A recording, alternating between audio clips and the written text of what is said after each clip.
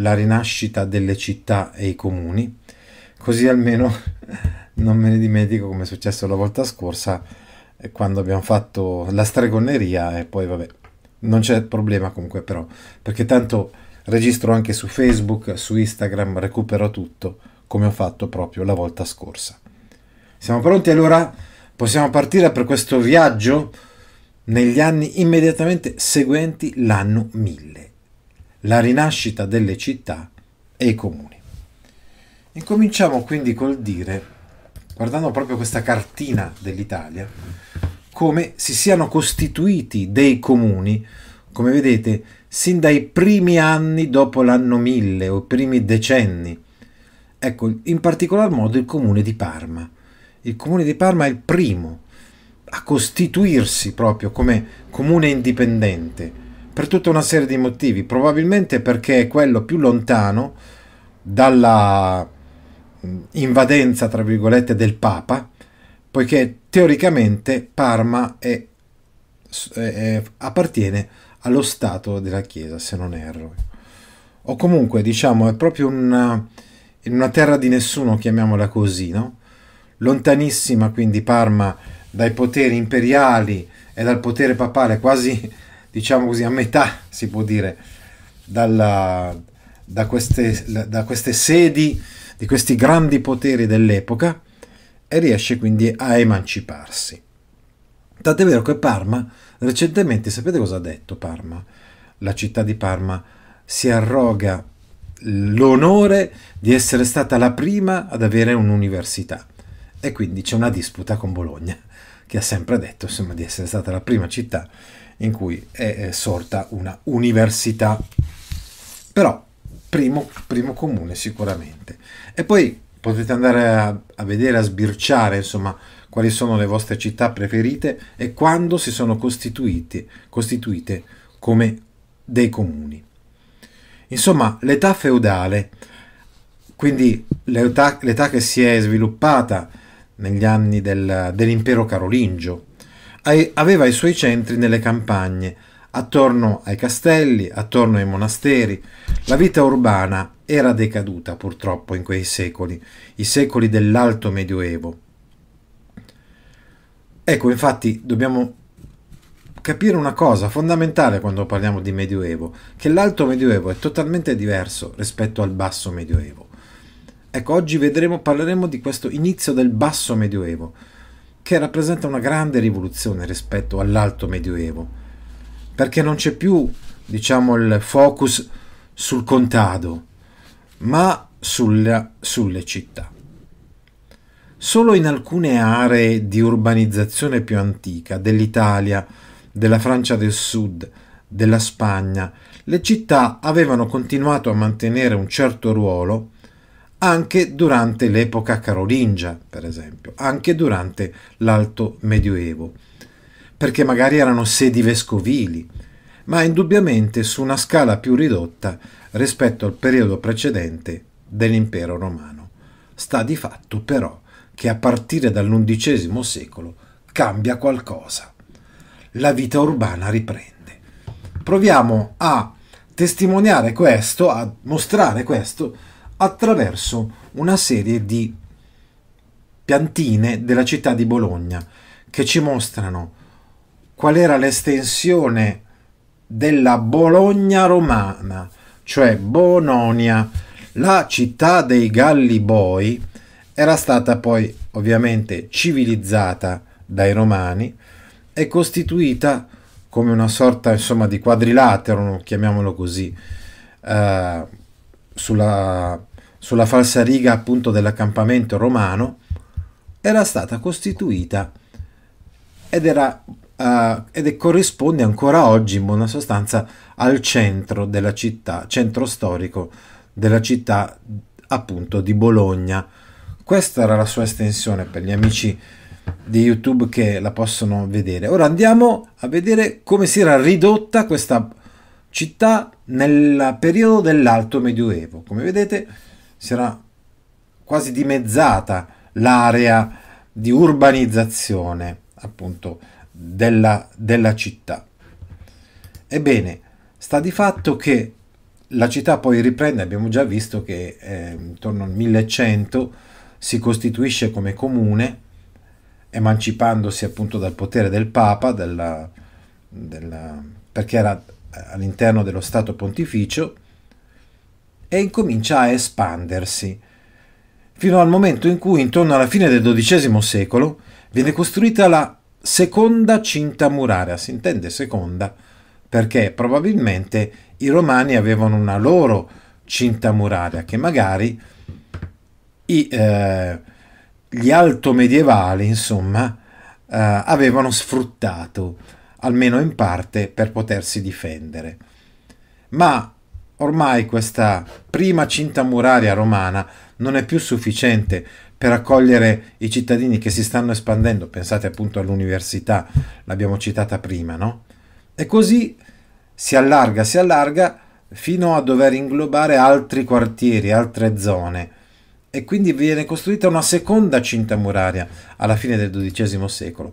Adesso guardate un po' come davvero raddoppia quasi il territorio della comune di Bologna solo un secolo dopo, quando saranno costretti i bolognesi a costituire una terza cinta, quindi una terza cinta muraria alla metà del XIII secolo. Potete intravedere alcune torri che facevano un po' da, da ponte anche ovviamente nei pressi delle porte della città, perché Bologna era la città delle mille torri, cioè ne aveva tantissime di torri, la città di Bologna, nel senso che i palazzi dei grandi ricchi dell'epoca eh, erano, erano caratterizzati proprio spesso da queste torri. Ebbene, queste cose che avvengono appunto a Bologna le possiamo ritrovare anche, per esempio, in altri centri, centri dell'Europa del Nord. Per esempio, ad Amburgo, a Lubecca, a Danzica, quindi nord, anche nord-est, perché, perché queste città eh, commerciavano con il Baltico, eh, quindi con i paesi del, con le regioni del Mar, del Mar Baltico o della Scandinavia, oppure si formano delle città, dei comuni indipendenti a Bruges. E questo sarà un po' il prodromo di quello che avverrà nei secoli seguenti con la Lega Anseatica, quando nelle Fiandre si creeranno delle città, pensate ad Anversa e Amsterdam, che saranno centro di traffici commerciali importantissimi. Diciamo quindi che l'imperatore concede una certa autonomia a queste città portuali del nord, eh, appunto abbiamo visto della Germania o anche di altre regioni eh, limitrofe, confinanti con la Germania a est o ad ovest. E la stessa cosa avviene in Italia, anzi avviene ancora di più, molto molto di più in Italia. C'è proprio un, uh, un fiorire un rifiorire di città, una rinascita appunto delle città dopo, dopo l'anno 1000. È un effetto dell'incremento demografico, ma soprattutto dello spostamento della popolazione dalle campagne, dal contado verso la città. La città ricomincia a offrire delle opportunità di lavoro. E e le persone si affrancano da quella servitù della gleba che abbiamo visto caratterizzare il periodo del feudalesimo. Contestualmente c'è la nascita, lo sviluppo delle repubbliche marinare. La rinascita dei commerci che caratterizzò l'undicesimo secolo fu anticipata proprio da queste quattro città italiane e qui vedete i loro stemmi. Amalfi, Pisa, Genova Venezia. Leggiamolo così, in senso antiorario, questo circolo insomma, delle quattro repubbliche marinare perché Amalfi è indubbiamente quella che si afferma per prima. Sono concorrenti fra di loro. Eh? Per esempio, Amalfi a un certo punto entra in conflitto con Pisa e Pisa è molto più agguerrita e infatti nel 1135 Pisa saccheggiò Amalfi, tra l'altro portando molte molti beni, molte ricchezze anche in città e gloriandosi, gloriandosi di poterle mettere eh, nel, nel Duomo di Pisa. Poi ancora Pisa e Genova, che si erano alleate per cacciare gli arabi, a un certo punto diventano concorrenti dal punto di vista commerciale sul mare Tirreno, fino a quando nel 1284 Genova sconfigge Pisa. E ancora Genova e Venezia uh, andranno a, a scontrarsi fra di loro fino a quando non prevarrà Venezia. Abbiamo comunque già fatto una lezione insieme proprio in uno di questi video, di queste dirette video su Amalfi, quindi caratterizzata da queste novità straordinarie che sono le carte nautiche, qua ne potete vedere una, la bussola, la bussola inventata dagli arabi arriva in Italia proprio grazie a, agli amalfitani che la usano, è il primo codice di diritto commerciale marittimo, quindi veramente cosiddette tavole amalfitane, veramente una città marinara molto, molto vivace. Poi dopo uh, parlavamo di Pisa, Pisa che si affacciava sul mare all'altezza della foce del fiume Arno, adesso invece la foce del fiume Arno è molto più avanti e Pisa è, nel, è, nel, è all'interno. Raggiunse l'apice dello splendore tra il XII e il XIII secolo, quando le sue navi controllavano le rotte nella zona occidentale del, del Mediterraneo, dalla Sardegna fino alla Corsica. Poi però nel 1284 Pisa fu sconfitta dalla Repubblica di Genova nella famosa battaglia navale della Meloria e da, da lì in poi ci fu la decadenza definitiva della potenza pisana. A questo punto Genova crebbe ulteriormente grazie alla flotta e grazie anche al controllo dell'entroterra ligure. Eh, abbiamo già detto che loro due insieme, Pisa e Genova, sconfissero i musulmani, li cacciarono dalla Sardegna nel 1022, dalla Corsica nel 1091 e poi, e poi Genova do, domina i commerci, i traffici, non solo sul Tirreno, ma anche verso l'Africa, Perfino si spingono le navi genovesi, genovesi fino alle Fiandre e fino all'Oriente, come potete vedere in questa cartina. Poi, come vi stavo spiegando anche prima, venne a confliggere con Venezia. Venezia si era enormemente, era enormemente cresciuta proprio tra il XII e il XIII secolo, eh, approfittando proprio del, del fatto che l'imperatore eh, come vedremo le prossime volte, lottava con i comuni, eh, appunto vedremo con la Lega Lombarda, eh, la battaglia di Legnano persa appunto dall'imperatore, oppure lottava con il Papa per la lotta delle investiture di cui stavate parlando ancora prima voi. E allora Venezia approfittò di questo tra virgolette vuoto di potere, si consolidò come dominatrice commerciale sulle rotte del Mediterraneo, negli scambi con l'Oriente. Se osserviamo questa cartina, vediamo come si sviluppano soprattutto verso Oriente eh, i traffici commerciali di Venezia, anzi addirittura le conquiste e le espansioni, nel senso che molte città della, della, Dalmazia, piuttosto che zone addirittura della Grecia o isole come l'isola di Candia o l'isola di Cipro diventarono un acquisto territoriale veneziano. E tutto questo sicuramente fino al XVI secolo, fino al 1500, quando cominciò la decadenza anche di Venezia. Tutto questo favorì comunque, eh, era parallelo insomma alla espansione e alla rinascita dei comuni eh, nell'entroterra, all'interno. Ecco, a questo punto andiamo al cuore dell'incontro di oggi, quando noi ci mettiamo a parlare un po' della parola comune. Perché queste città adesso vengono chiamate comuni? Beh, dovete sapere che eh, spesso si creavano delle associazioni fra le persone che avevano interessi comuni. Ecco, da qui la parola, no? Ad esempio delle confraternite religiose. Ma a noi interessano soprattutto le associazioni professionali, le arti e corporazioni, così le chiamavano all'epoca, in Italia, oppure all'estero le chiamavano le gilde. C'erano sicuramente anche le consorterie nobiliari, c'erano common land, la terra comune, insomma, per i proprietari terrieri. Ma a noi interessa in particolar modo, dicevamo, la questione delle arti e corporazioni. Questa va in parallelo con la crescita di una classe sociale importantissima, che è quella della borghesia. Chi è il borghese? Beh, originariamente abbiamo visto nell'età feudale, al centro della società c'era il castello, quindi la proprietà del signore.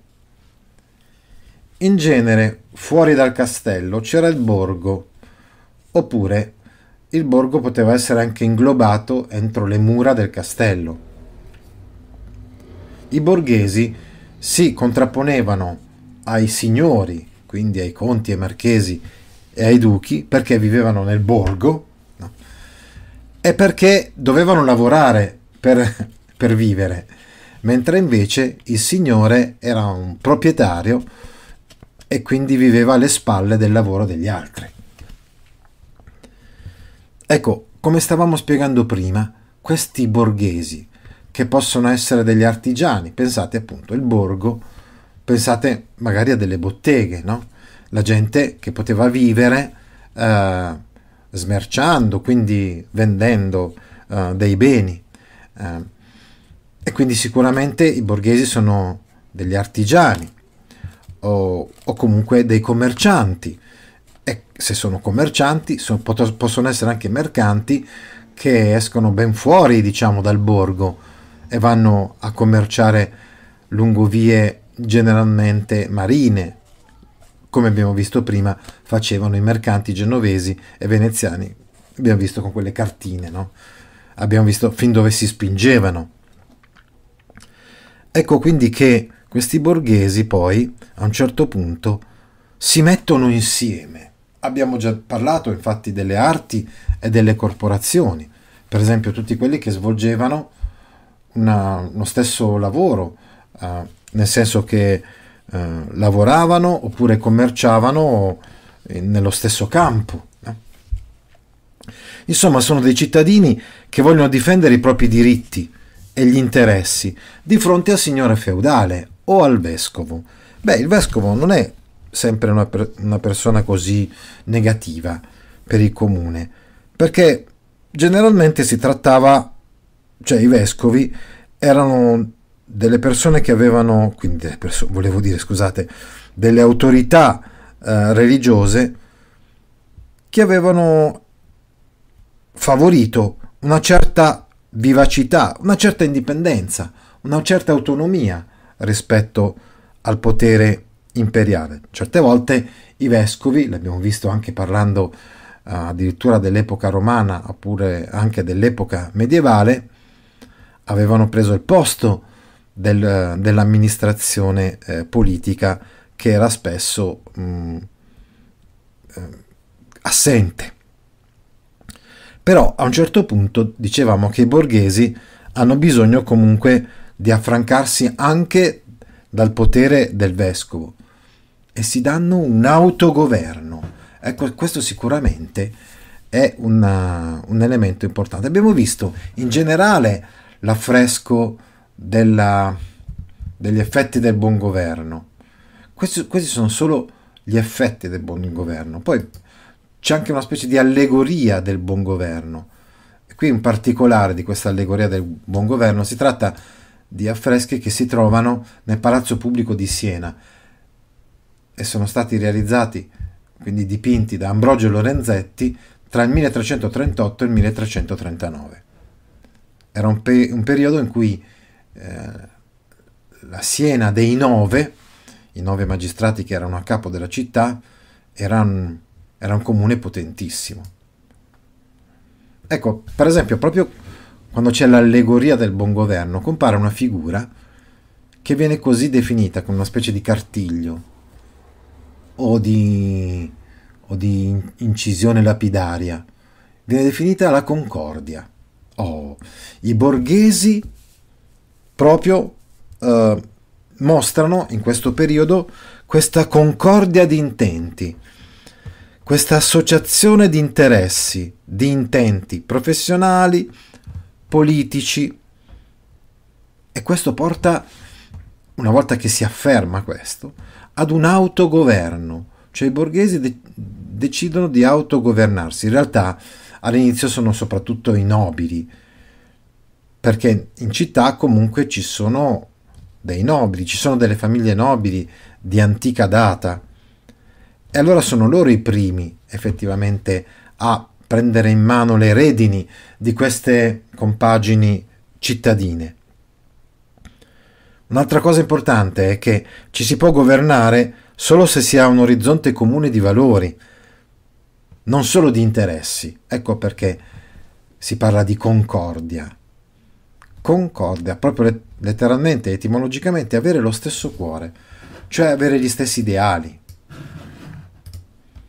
Ecco così che si crea un comune attorno ad una piazza e questa piazza generalmente è caratterizzata, come vedete questa bellissima piazza grande ad Arezzo, con questo che, che, che degrada, insomma, no?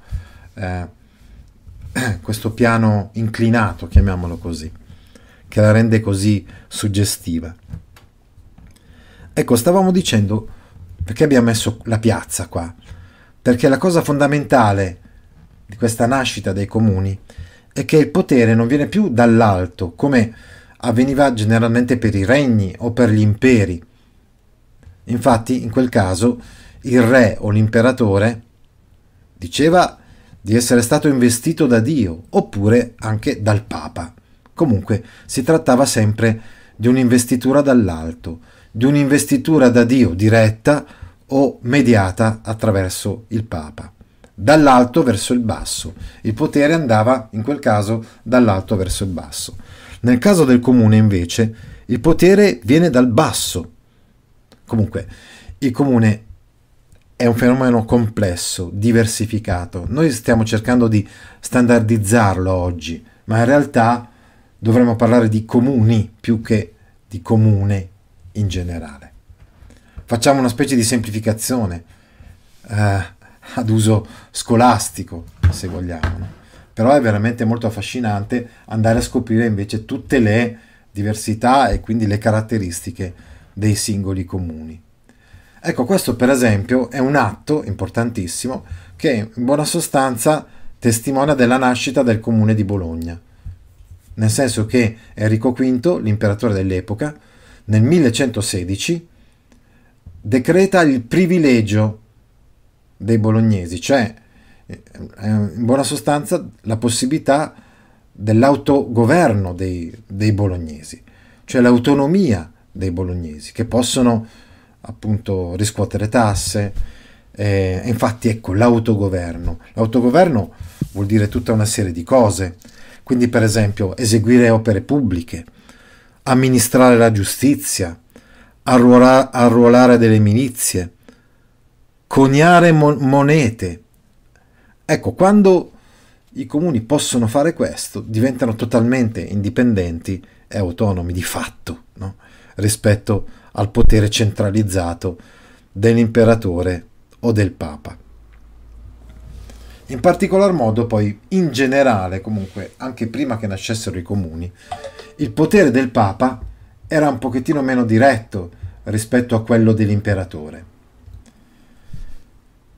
Ecco il motivo per cui vedremo le prossime volte quando parleremo della lotta fra i comuni e Federico Barbarossa, ecco perché i comuni, almeno in questo periodo, in gran parte sono, diventano comuni guelfi, quindi filopapali, proprio perché diciamo così che le catene eh, papali sono sicuramente meno rigide rispetto a quelle imperiali. Ecco, uh, abbiamo visto quindi questo privilegio. Qui vediamo, purtroppo non sono rimaste tutte le torri, ce n'erano tantissime nella città di Bologna, però queste due sicuramente le, le conoscerete, sono famose, sono la torre Garisenda e la torre degli Asinelli a Bologna. Perché? Eh, perché la città si, è vero, si espande, l'abbiamo visto prima, abbiamo visto le mura, no. però eh, spesso eh, i, i, ricchi borghesi del popolo grasso, eh, come dire, espandono e creano dei palazzi alti, no? quindi anche con queste torri, perché comunque il terreno a disposizione entro la cinta delle mura non è sempre così, così tanto. No? E poi anche per un valore difensivo. Le torri, insomma, sono degli edifici multifunzione, chiamiamoli così, perché possono essere delle fortezze, e, e infatti spesso hanno i merli, no? dai quali si può magari attaccare o difendersi da degli assalitori, dagli, dagli assedianti. Poi possono essere magazzino, possono essere prigioni, oppure, come abbiamo spiegato prima, possono essere semplicemente il palazzo del Signore che si espande in altezza, visto che non è possibile, per mancanza di spazi, espandersi in larghezza. Ecco, quali sono questi privilegi?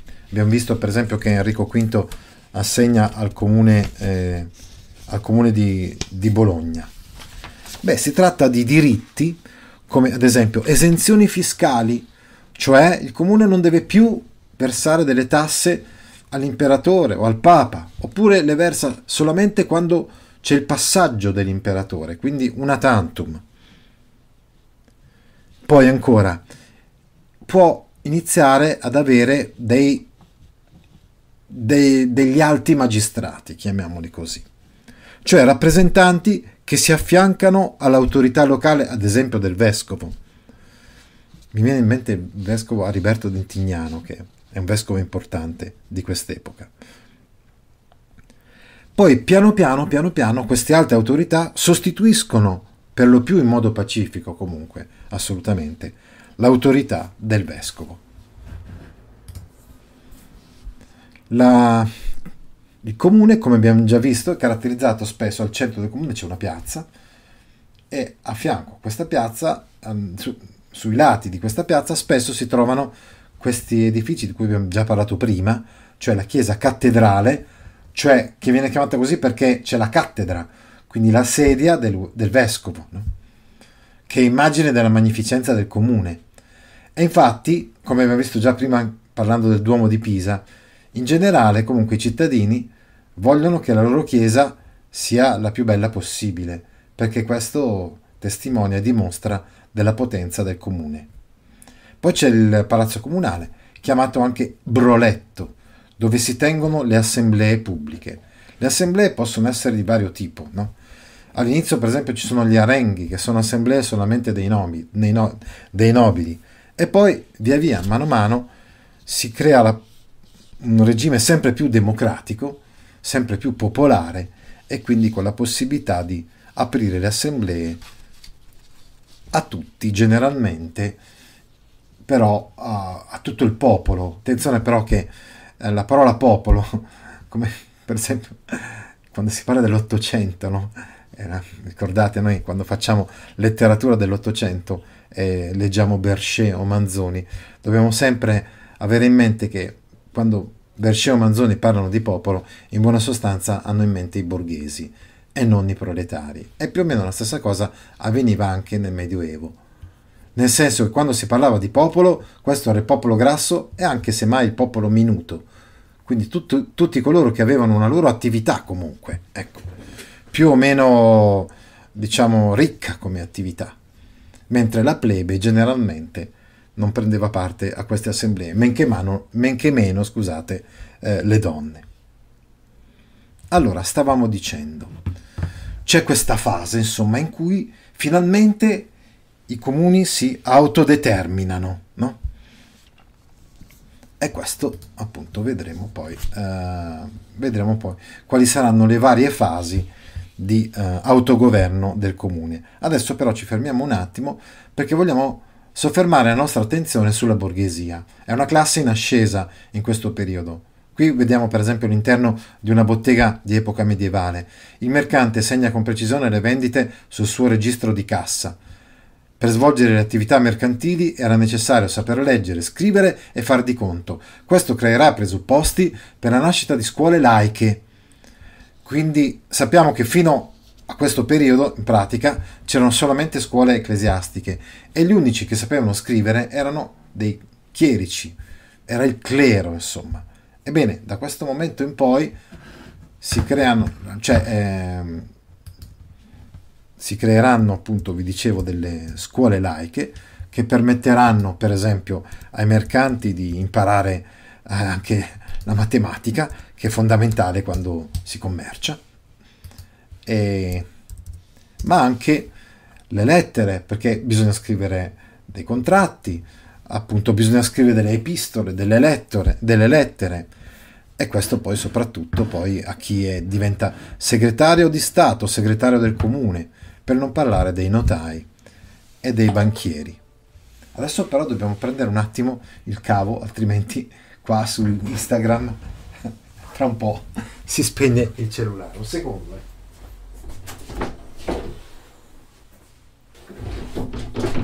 Scusate, intanto facciamo la pausa, nel senso che eh, ci siamo accorti che purtroppo eh, la carica del cellulare stava terminando e non volevamo lasciare i nostri amici di, di Instagram senza, senza che comparissimo ancora noi su, su Instagram.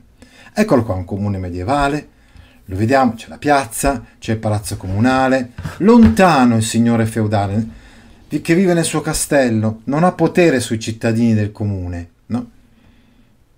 I contadini pagano i tributi alla città anche in natura, cioè danno il loro contributo. Eh sì, questo sì, bisogna dirlo. Bisogna pagare le tasse. Perché questo comune possa autogovernarsi è necessario raccogliere i tributi da tutti i cittadini. Questa è la piazza in cui si tiene il mercato e anche molte attività, certe volte anche delle assemblee, per carità.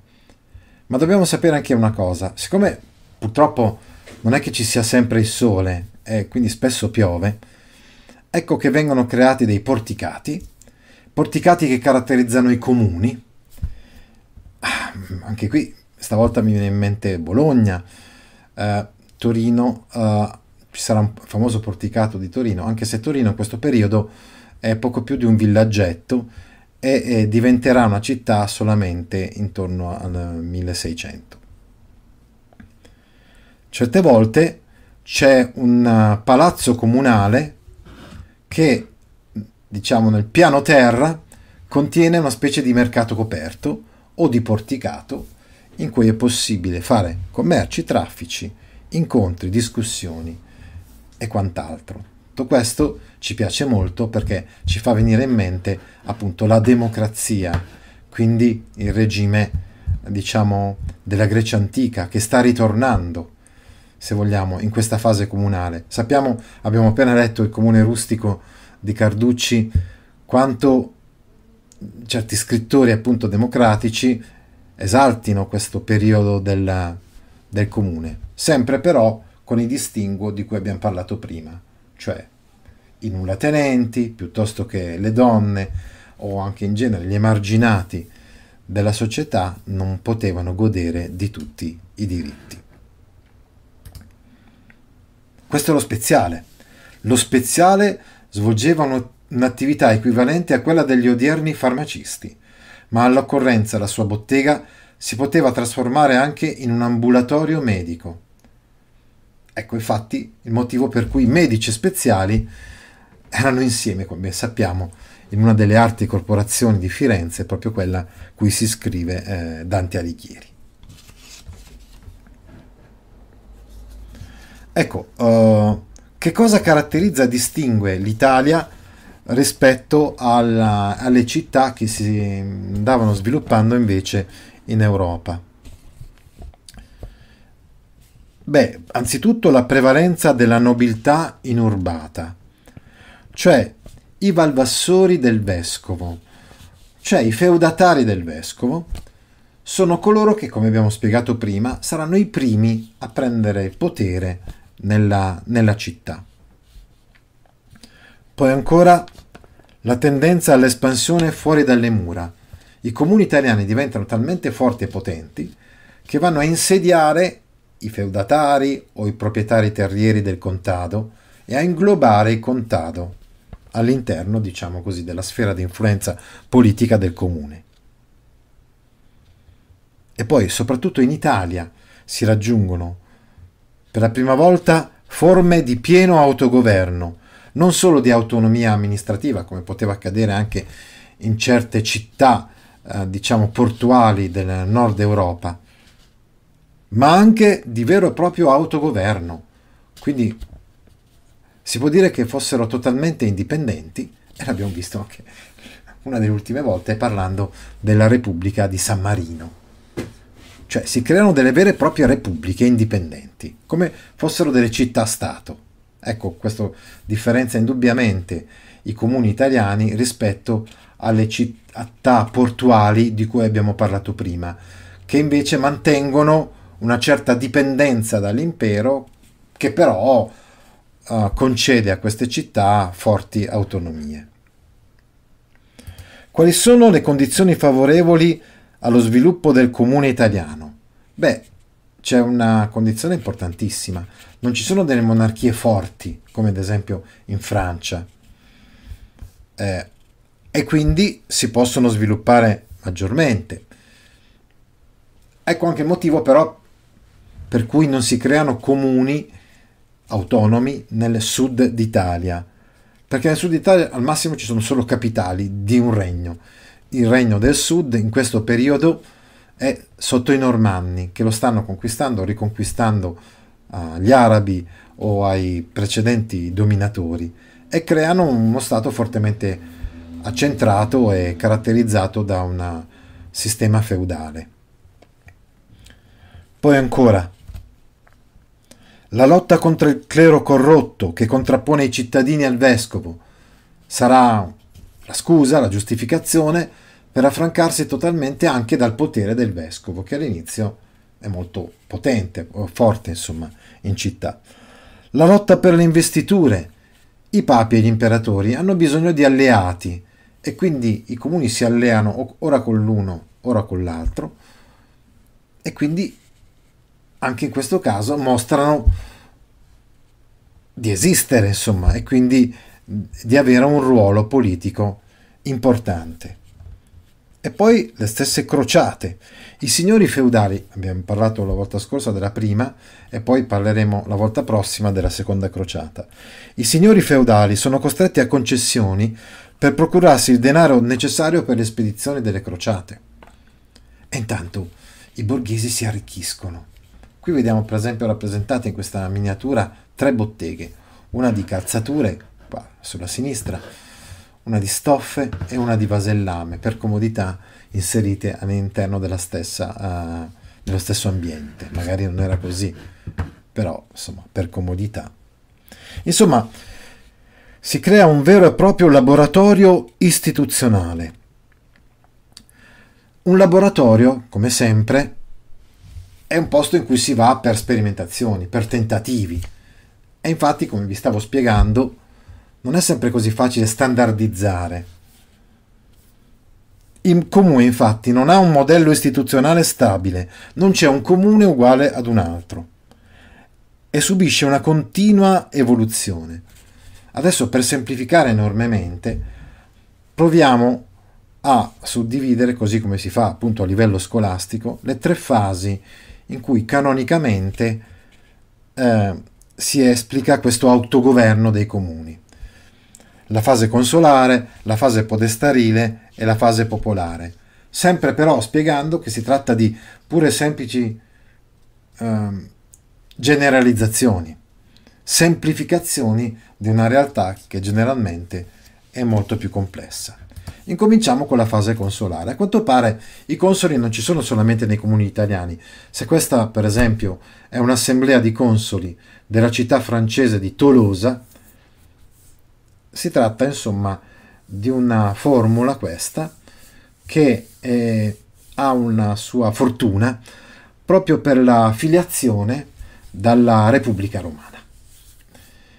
Quindi di fronte a un potere centralizzato, accentratore, queste associazioni, dicevamo, corporazioni, associazioni di interessi, associazioni di privati cittadini che si legano come una coniuratio, nel senso proprio etimologico del termine, cittadini che giurano di fare fronte comune, giurano di seguire delle, delle regole comuni e di avere un, uno scopo unico fra di loro.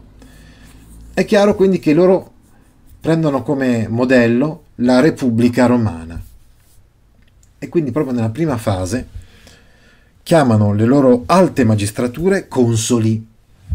A differenza però di Roma, laddove i consoli erano solamente due, spesso nei comuni ce n'erano più di due, quasi sempre di numero pari, ma, ma spesso molti, molti più di, di due, 4, 6, 8, 10, 12 e anche non in maniera così rigida era determinato il numero dei consoli, poteva essere aumentato a seconda delle necessità. Questi consoli, come vedete in questa miniatura, spesso si riunivano in assemblea, svolgevano appunto delle funzioni amministrative. Quindi le tasse che erano raccolte dai cittadini dovevano poi essere amministrate appunto per, gli interessi, per gli interessi comuni. I consoli avevano questo compito importante, fondamentale. Però perché non eh, abusassero di questo potere, in genere avevano una carica di durata molto ristretta, ad esempio annuale o addirittura semestrale. Annuale, anche qui riprendendo il modello uh, romano. Il comune che non coinvolge però tutta la città in questa prima fase, ma solo i maggiorenti, cioè le persone appartenenti alle famiglie più in vista, si esprime nell'assemblea che allora si chiamava dell'Arengario, nominando i suoi rappresentanti, i boni homines, cioè gli uomini onesti, istituzionalizzati nella figura dei consoli, una magistratura collettiva che regge la città all'inizio della storia di questi comuni. Cioè, quando il comune conquista il suo, il suo potere politico, come abbiamo visto nella cartina all'inizio del, del, nostro incontro, intorno al 1100 più o meno, ecco, abbiamo una fase consolare.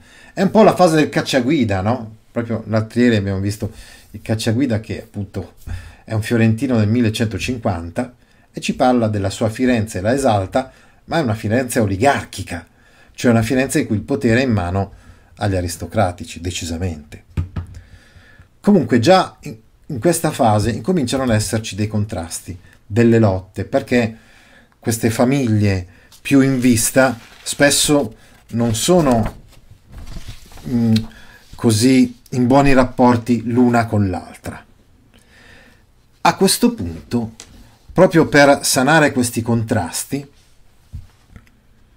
loro decidono di affidare il potere supremo, la magistratura più alta della città, non più ad alcuni di loro, di queste famiglie, cosa che aveva ingenerato dei sospetti, delle gelosie e perfino delle faide, ma di affidarla ad un esterno, a un podestà. E così abbiamo la seconda fase, che è la fase podestarile. Oltretutto, in questa seconda fase, questo secondo periodo, gli artigiani e i commercianti si arricchiscono moltissimo e quindi insidiano quel predominio oligarchico della nobiltà che aveva caratterizzato la prima fase. E questo è anche il periodo in cui si dà forma stabile alle istituzioni con la redazione di statuti comunali. Si ricorre, come vi stavo spiegando, quindi a un magistrato esterno, il podestà, che è straniero, è temporaneo, anche lui, cioè non è che si era podestà a vita, no? Poteva essere garante fra le parti, però certamente se tutte le parti convenivano nella, mm, nelle capacità, sulle capacità, volevo dire, di questo podestà, poteva restare in carica per un certo periodo di tempo.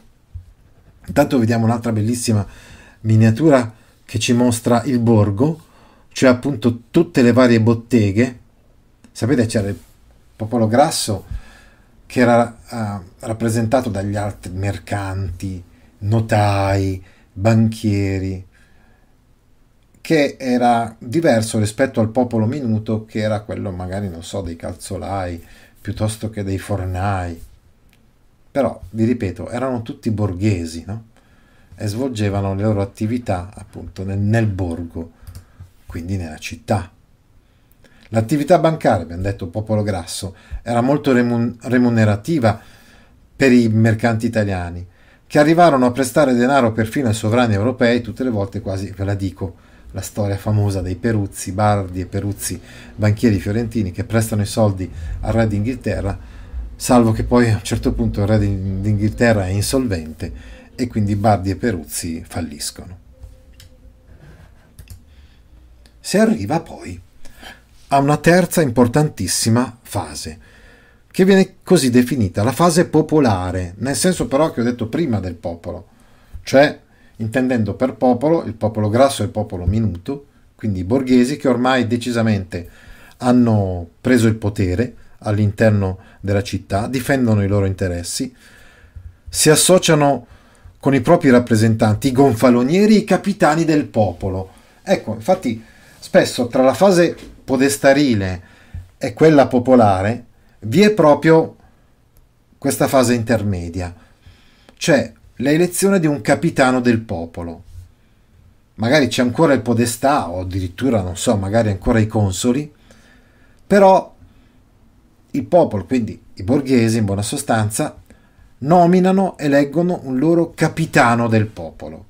Ecco, questa è la fase che indubbiamente prelude ad una svolta in senso popolare, sempre con le virgolette che, abbiamo, che dobbiamo utilizzare per forza quando si usa un, un termine del genere. È proprio la fase questa, ad esempio, del comune di Firenze alla fine del, del 1200, quando addirittura eh, i nobili non possono più neanche avere un ruolo, una, un potere all'interno della città. E bisogna per forza essere iscritti alle arti e corporazioni, quindi eh, le corporazioni di arti e mestieri eh, cui ci si poteva iscrivere solo se si era dei borghesi, oppure dei piccoli nobili, della piccola nobiltà, come il nostro Dante Alighieri, appunto, che si iscrive alla corporazione dei medici e degli speziali, anche se lui originariamente non era un, borghese, ma era un nobile, anche se di una nobiltà un po' decaduta e inferiore. Oh, qui vediamo un'altra bellissima piazza la piazza del campo, quella dove si corre il Paro di Siena, col palazzo pubblico e la torre del Mangia a Siena. E quindi poi l'ultima foto di grande palazzo comunale che vi faccio vedere è quello, è quello di Firenze. Definito anche Palazzo della Signoria perché poi Firenze diventa una signoria e questo palazzo viene poi, diventa il palazzo del potere dei signori di Firenze, ma prima in precedenza era stato il palazzo de, del comune quindi dalla metà del XIII secolo, addirittura a Bologna dal 1228, a Firenze nel 1250, il popolo conquista il controllo della città, riducendo il ruolo dei magnati, quindi dei nobili e dei ricchi. Ecco, infatti, proprio intorno al 1250, per la prima volta prevale il partito dei Guelfi a, a Firenze. Poi, in realtà, i ghibellini continueranno a combattere con i guelfi ancora per una quindicina di anni circa. Ma poi nel 1266 i ghibellini verranno cacciati definitivamente e generalmente i ghibellini erano, appartenevano alle famiglie aristocratiche, alleate con l'imperatore, appunto, mentre invece i guelfi, tra virgolette, anche qui dobbiamo usare molto le virgolette, filopapali, erano semplicemente dalla parte del, del Papa solo ed esclusivamente perché il Papa era meno invadente rispetto all'imperatore. Il Papa non avrebbe mai fatto una guerra contro i comuni come invece vedremo la prossima volta fece Federico Barbarossa. Oltretutto, adesso stiamo facendo un discorso, non so, ideale, ideologico, ma dobbiamo fare anche dei discorsi economici, perché come sapete benissimo, ad esempio i donati erano i banchieri del Papa, no? Ecco anche perché erano così legati al Papa. E i guelfi neri si distinguono fortemente rispetto ai guelfi bianchi, perché i guelfi bianchi non amano essere così legati o, o, di, o dipendere in maniera così stretta dalla, dal Papa. Ma queste sono cose che probabilmente già sapete e ne riparleremo ancora. È arrivata quindi la fine della nostra lezione, del nostro incontro, giusto giusto per uh, farvi vedere un'ultima cartina riguardo a un periodo che comunque è un po' più in là rispetto al periodo di cui abbiamo parlato oggi. L'Italia politica intorno al 1300, se la guardate con attenzione, non è molto diversa dall'Italia politica intorno al 1000, nel senso che c'è l'imperatore, che è anche re d'Italia, teoricamente, perché poi di fatto queste città del nord e del centro d'Italia, nel corso di questi secoli, lo vedremo la prossima volta con le lotte appunto tra i comuni italiani e Barbarossa, si sono decisamente affrancate rispetto all'imperatore. Poi c'è lo Stato della Chiesa, anche qua lo Stato della Chiesa dobbiamo distinguere, perché ci sono delle, delle regioni, insomma, dello Stato della Chiesa, tipo per esempio Lazio o Marche e Umbria del Sud, che sono decisamente più, mm, come dire, assoggettate al Papa. E altre invece in cui ci sono comuni, comuni e signorie, che si diffondono anche nel territorio che teoricamente è quello dello Stato della Chiesa. Poi le due repubbliche marinare di Venezia e Genova che si sono imposte anche rispetto alle altre due precedenti di Amalfi e di Pisa.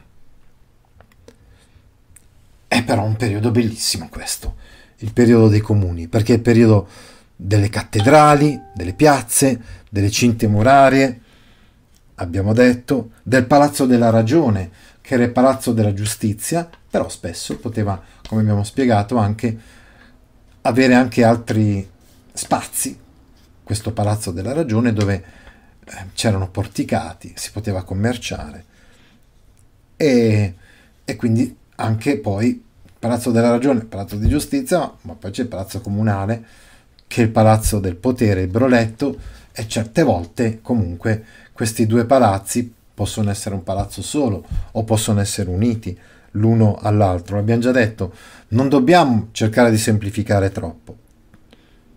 E c'erano i mercanti nel borgo, nella città, che spesso si univano nella stessa via. Ecco perché, per esempio, a Milano c'è la via degli orefici, la via dei mercanti, famosissime queste due vie a Milano, oppure in, altri, in altre città c'è la via dei calzolai.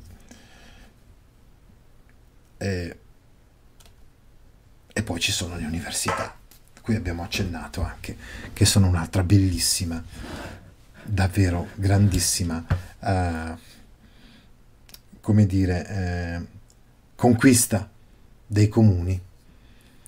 Le università nelle quali si studia diritto, senz'altro, ma poi mano a mano anche tante altre arti liberali. E non solo nell'ambito umanistico, come retorica, che era importante comunque per gli scrivani, no? la dialettica, ma anche arti, eh, diciamo, tra virgolette, quali scienze, in un certo senso, quali la matematica, l'astronomia, la musica. Bene, è arrivato il momento adesso di leggere i vostri commenti su YouTube, così intanto salutiamo anche i nostri amici. Giusy, Manuel, Melvin, Alda, li abbiamo già salutati, e anche Paolo. A proposito del sistema feudale, quando e in quale posizione geografica si forma il sistema feudale si forma in tutta Europa. Abbiamo detto che il punto di riferimento è Carlo Magno, che nomina i suoi conti, duchi e marchesi. Si tratta quindi di un sistema molto parcellizzato, frammentario se vogliamo, poiché il signore feudale in buona sostanza nel suo territorio è un padrone assoluto ed è un proprietario terriero e costruisce i castelli, soprattutto poi verso il Novecento. Quindi di queste cose abbiamo già parlato nelle lezioni precedenti che abbiamo fatto sul feudalesimo, sul feudo che viene concesso appunto dalla, dal Signore alla, a questo vassallo, sul beneficio e sul rapporto però di fedeltà che lega il vassallo al suo signore, ad esempio deve combattere per il suo signore. Ah sì, erano molto di più le repubbliche marinare, professore, lo sappiamo assolutamente, l'abbiamo già visto, me l'avete detto anche voi, molte per esempio anche sul mare Adriatico, sia sulla sponda italiana sia addirittura sulla sponda dalmata, le città marinare, assolutamente, lo sappiamo, noi anche qua stiamo un po' semplificando quando parliamo solo di queste quattro, sono perfettamente d'accordo. I genovesi hanno vinto contro i pisani con l'inganno la battaglia della memoria, della meloria, scusate. Non voglio entrare nei campanilismi però, perché assolutamente non vorrei fare torti ai genovesi o ai pisani. Non sono uno come Dante che ce l'ha a morte con gli uni o con gli altri. Parla male sia dei genovesi sia dei pisani Dante, eh? lo, sap- lo sapete sicuramente. Poi ancora, eh, perché si parla di rivoluzione sociale relativamente all'organizzazione dell'esercito dei cavalieri?